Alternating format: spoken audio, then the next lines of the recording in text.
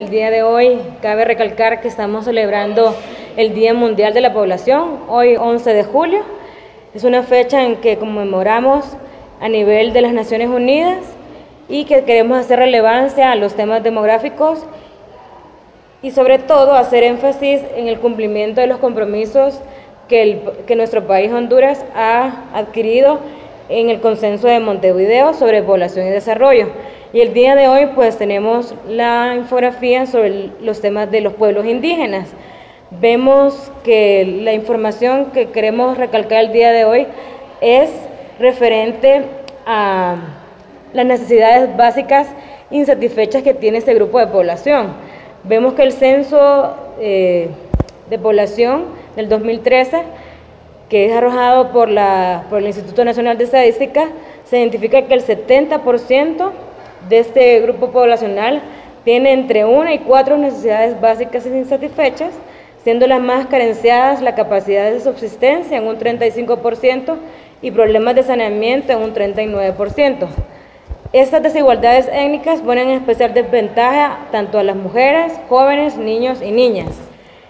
En el dato que presentamos en el mapa, vemos que los grupos étnicos eh, que presentan estas necesidades básicas insatisfechas que las conocemos mejor como NBI.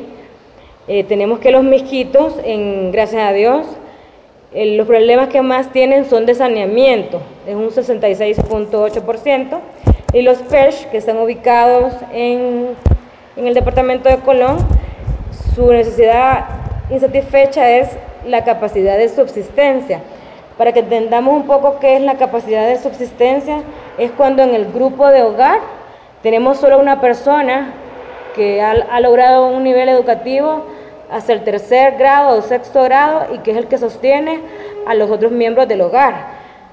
O también cuando hay miembros en el hogar donde hay personas que están desocupadas, o sea que no tienen un trabajo estable y también tienen alguna discapacidad, que son personas especiales.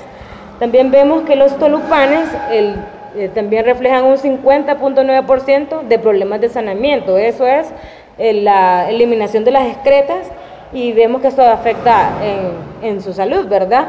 También los nahuas, que están ubicados en, en el departamento de Cortés, el 32.8 es de capacidad de subsistencia, como se los mencionaba anteriormente, y en Copán eh, también el 39.6% es eh, que no tienen capacidad de subsistencia. Y los lencas que están ubicados en Gracias, eh, en los departamentos de Gracias, La Paz, vemos que también este es el mayor porcentaje, un 36.1%, que es la capacidad de subsistencia que tienen los hogares para enfrentar cualquier tipo de situación en el hogar, ya sea social o económico. ¿Alguna recomendación para disminuir necesidades?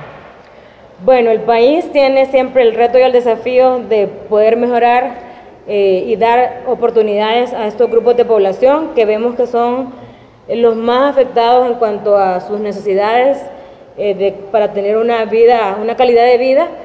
Entonces, el gobierno tiene que enfocar mejores estrategias, planes estratégicos de, enfocados en temas de población y medidas de saneamiento, también personas que, que habitan en sus hogares eh, con problemas de hacinamiento y todo lo que menciona aquí, ¿verdad? Servicios de agua potable también son otros factores que no están satisfechos en su totalidad. Entonces tendrían que, que promover políticas, planes estratégicos para enfocar eh, los fondos que se adquieren de, de cooperación internacional o los mismos fondos de gobierno para poder proyectar proyectos que estén enfocados en temas, eh, en ese grupo de población de los indígenas.